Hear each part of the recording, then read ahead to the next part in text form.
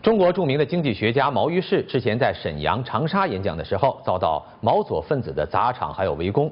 下周六，毛于轼预期在杭州高峰经济论坛的演讲呢，日前传出又遭毛左们干扰。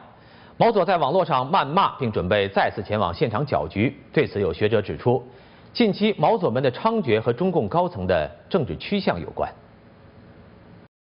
六月二十二号，杭州将举行二零一三年开元广场高峰经济论坛。被誉为中国大陆民间经济学第一人的自由派学者毛于轼受邀担任主讲嘉宾。六月九号，主办方在杭州萧山日报上刊登了演讲广告，却引起一些毛左在网络上谩骂，并策划动员毛左前往现场搅局。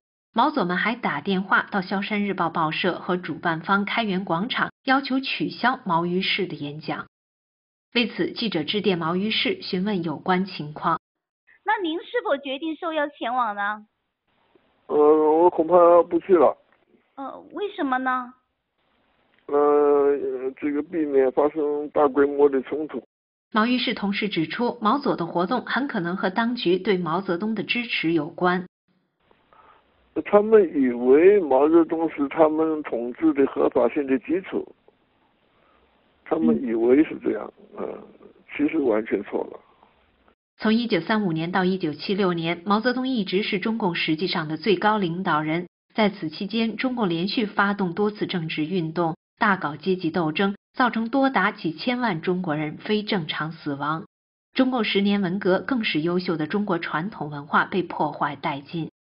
近年来，随着民众的觉醒，中国大陆出现了批毛批共的热潮，越来越多的人站出来公开揭批中共和毛泽东的罪恶。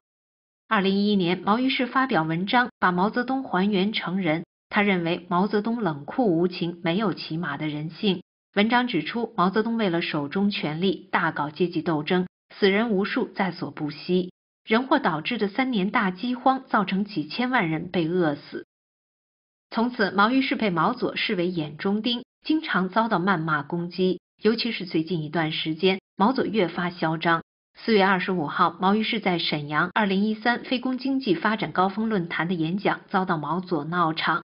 五月四号，毛于是在长沙的演讲再次遭到毛左围攻，主办方被迫临时改变演讲地点。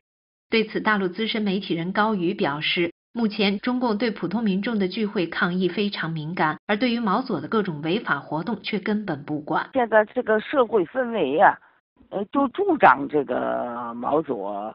兴风作浪，而且他们可以违法，啊，因为现在就是要提倡，呃，要要那个把毛泽东和个人和他的思想又提高到国家的呃高度了嘛。